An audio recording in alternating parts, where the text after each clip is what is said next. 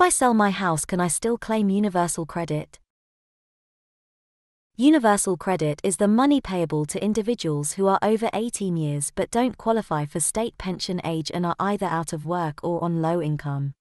It encompasses support for childcare and children, housing, people who are too ill to work, carers, and financial support for people living with disabilities. Simply put, it's money that is paid monthly to help ease the cost of living. You can receive universal credit if you can't work, are out of work, or have low income. For the avoidance of doubt, you need to know that universal credit covers the following tax credits and benefits. Income support, child tax benefit, housing benefit, working tax credit, income related employment and support allowance, ESA, income based job seekers allowance, JSA. If you're already receiving any of these tax credits or benefits, then you must understand some of the reasons that could affect your universal credit payment. Will selling your house affect your universal credit claim? Any income you receive from investments and assets is classified as capital.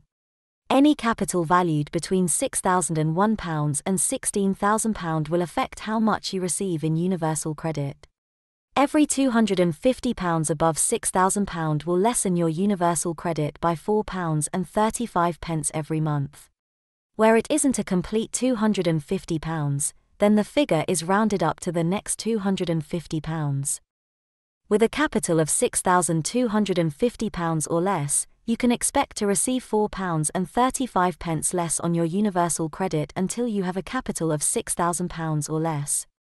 With a capital of £6,000 or less, there will be no more deduction to your universal credit.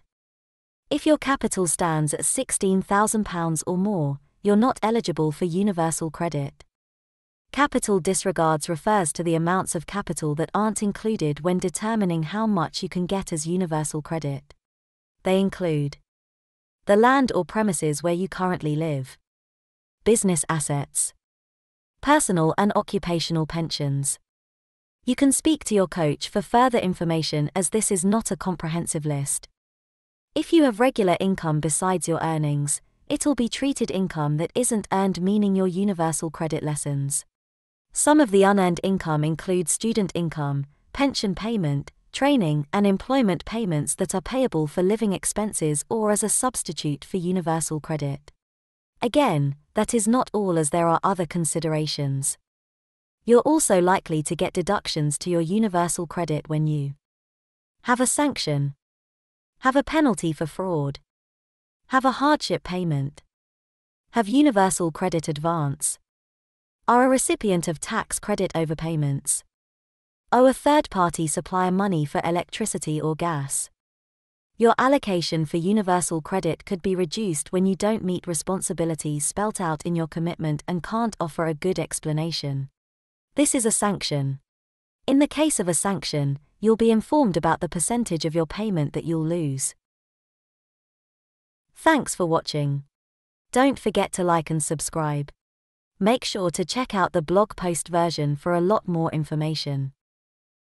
If you're trying to sell but it's not going well, if you can't get a sale the estate agent fell, now is the time for you to jump and praise.